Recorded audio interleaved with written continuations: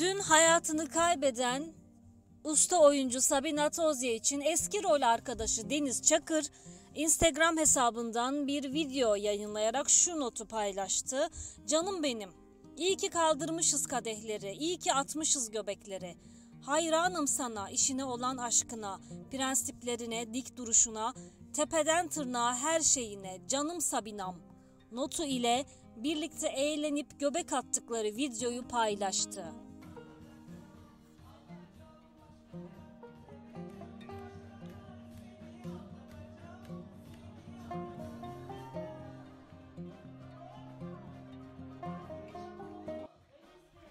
Paylaşımının üzerine Deniz Çakır'a çok sayıda eleştiri geldi.